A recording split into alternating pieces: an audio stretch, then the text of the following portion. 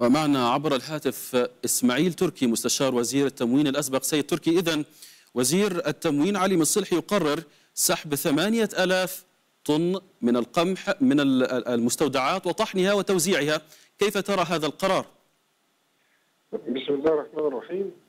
هذا القرار له أكثر من مغزى. أولا عدم اهتمام بصحة المواطنين وبكفاءة التشوين وكذب الوزير المستمر بانه هو بيخزن في طوابق أو في بناكر بتكون مغطاة.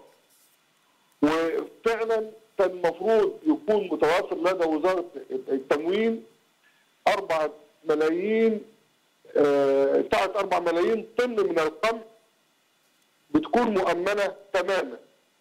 لكن الحقيقة إن إحنا في بداية ولم نستقبل مليون طن وهو يكون في شون ترابية.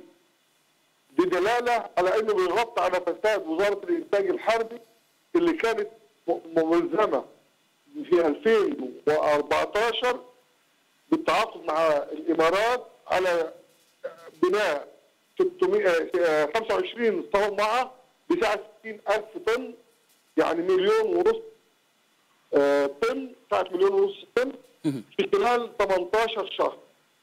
وبذلك لم توفى ولم يستلم آه، هذه الصواب ولذلك هو يخزن في شون مكشوفة وفي الأعراض. إذا أنت تشير آه، آه، أستاذ أستاذ إسماعيل أن طريقة التخزين بها شبهات أو مشاكل. الآن نتحدث أيضا عن فكرة توزيع هذا القمح رغم تضرره بمياه الأمطار, بمياه الأمطار. من يحدد كفاءة هذا القمح؟ من له الحق أن يقول أن هذا القمح من الممكن أن يستخدم أم لا؟ هو للأسف الشديد هو اللي بيستخدم. هو ما بقاش في ضرر في في جزئية معينة. لو وصلت نسبة الرطوبة إلى نسبة معينة ما بقاش في ضرر. لكن لو استمر هيعفو. فالقرار لو نسبة الرطوبة بسيطة ممكن الأمر يسير في مسار الطبيعي.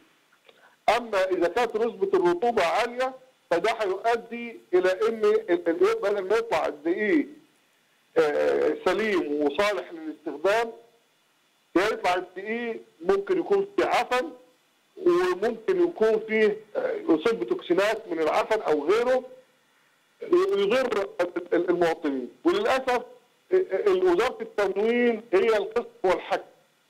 هي اللي بتقرر تطهر وهي اللي بتستلم وهي اللي بتقرر صلاحية وعدم صلاحية. شكرا جزيلا لك إسماعيل تركي مستشار وزير التموين الأسبق كنت معنا عبر الهاتف.